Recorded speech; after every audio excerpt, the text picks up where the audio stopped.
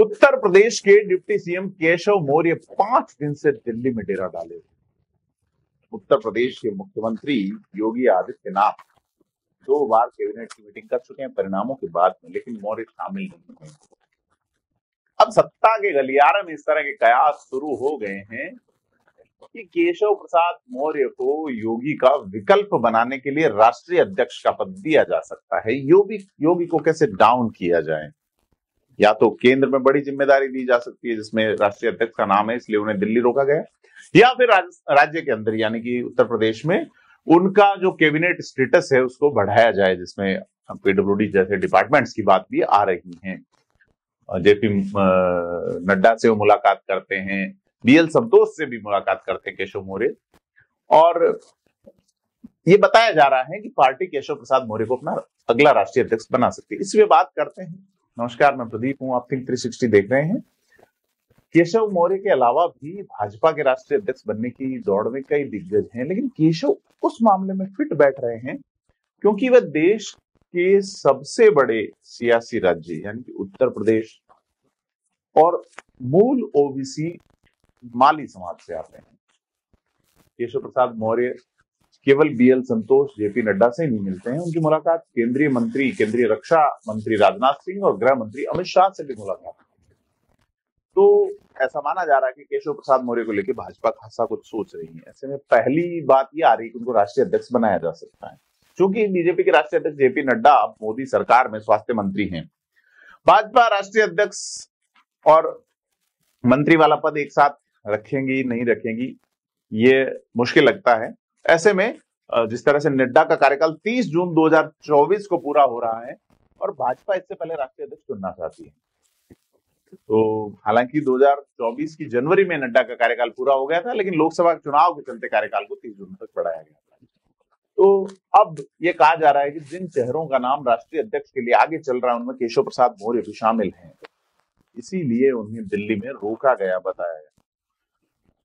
संगठन और सरकार के टॉप लोगों के साथ मीटिंगों और इन चीज़ों को देखिए तो लगता है कि भाजपा जो ओबीसी यानी कि मूल ओबीसी से अगर किसी को अध्यक्ष बनाती है तो उसमें केशव प्रसाद मौर्य फिट बैठते हैं। का फ़ायदा उन्हें हरियाणा चुनाव में हो सकता है? केशव के अलावा राष्ट्रीय अध्यक्ष के पद में चार और नाम हैं, जिसमें राष्ट्रीय महासचिव विनोद तावड़े का नाम भी है। फ़िलहाल वो बिहार के प्रभारी हैं, पिछड़े समुदाय के हैं वो भी। और तीसरा नाम जो है वो आदिवासी नेता फग्गन सिंह कुलस्ते का है। अनुराग ठाकुर को क्या ज़िम्मेदारी दी जा सकती है? या सुनील बंसल को। कई सारे, चूँकि अनुराग ठाकुर केंद्रीय मंत्री रह चुके हैं और सुनील बंसल पार्टी में महासचिव और यूपी के प्रभारी रह चुके हैं। और ये है कि उन्हें राष्ट्रीय अध्यक्ष बनाने का पहला विकल्प। दूसरा विकल्प ये है कि उनको पीडब्ल्यूडी जैसा महत्वपूर्ण मंत्रालय दोबारा दिया जाए। ये भी कहा जा रहा है, प्रदेश में केशव प्रसाद को बड़ी भूमिका दी जा सकती। अगर वह सेंट्रल की पॉलिटिक्स में नहीं आते हैं तो उन्हें पीडब्ल्यूडी यानी कि सार्वजनिक निर्माण विभाग की अतिरिक्त ज़िम्मेदारी दी जाए। ये विभाग पहले जितिन प्रसाद के पास था, अब वो केंद्र मंत्री बना दिए गए। इसके चलते विभाग खाली हुआ है। योगी की पहली सरकार में यह विभाग केशव प्रसाद मौर्य के ही पास था। फ़िलहाल उनके पास रूरल डेवलपमेंट है। और अब सारी चीज़ें ये है कि क्या पीडब्ल्यूडी के लिए उन्होंने अमित शाह, जेपी नड्डा, राजनाथ सिंह बीएल संतोष जैसे से मुलाकात की, बड़ी चीज़ और तीसरी चीज़ जो चल रही है कि उत्तर प्रदेश में भाजपा जिस तरीके से हारी है बड़े पैमाने पे, और प्रदेश अध्यक्ष भूपेंद्र चौधरी प्रभावी नहीं हुए तो क्या केशव प्रसाद मौर्य को उत्तर प्रदेश का प्रदेश अध्यक्ष बनाया जा सकता है?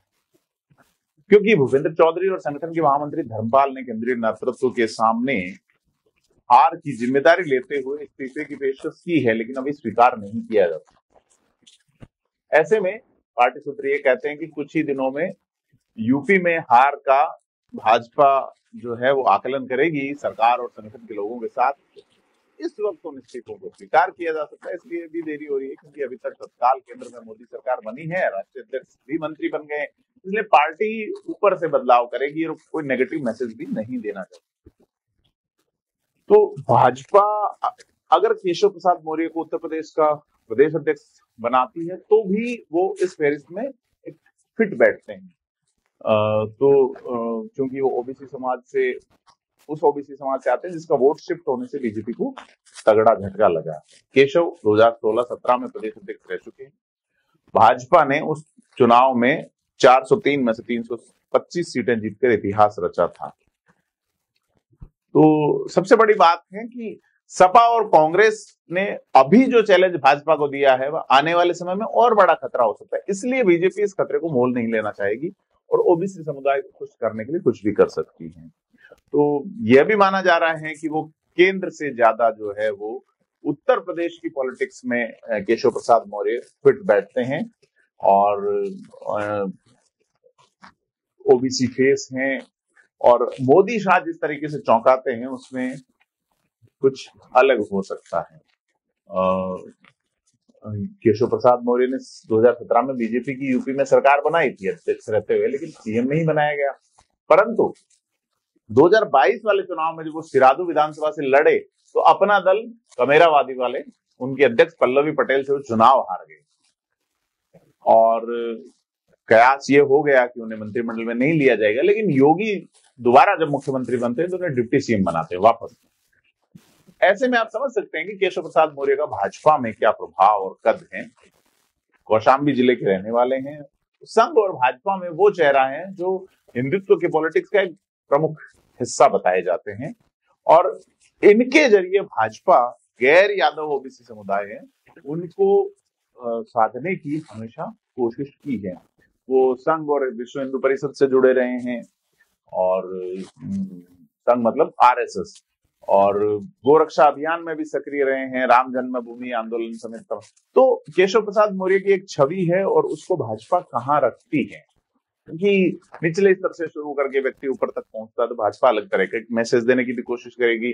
केशव प्रसाद मौर्य के राष्ट्रीय अध्यक्ष बनाए जाते हैं तो उसका फ़ायदा उनको राजस्थान समेत पूरी हिंदी पट्टी में एक बड़ा बूढ़ा, बड़ा उनको पहचान मिलेगी, क्योंकि उनकी जाति जो है, पूरे यूपी ही नहीं आसपास के प्रदेशों में भी है। इन जाति को मौर्य मौर्य, कुशवाहा, शाक्य, सैनी समेत अलग अलग नामों से जाना जाता है। साढ़े आठ परसेंट उत्तर प्रदेश की आबादी में से ये समाज है। पारंपरिक रूप से खेती किसानी वाले समाज से आने वाले मौर्य जो है, वो शुरुआत में लगातार दो चुनाव हारे, लेकिन बारह में सिरादू में जीते, सत्रह में जीते। और 2014 में वो फूलपुर की लोकसभा सीट से उम्मीदवार बनाए गए। और उस वक्त चौदह में सांसद बने थे। तो ये वो सीट है जहाँ पहली बार नेहरू सांसद बने थे। और इस सीट पर पहली जीत दर्ज भाजपा के लिए केशव प्रसाद मौर्य ने ही की थी।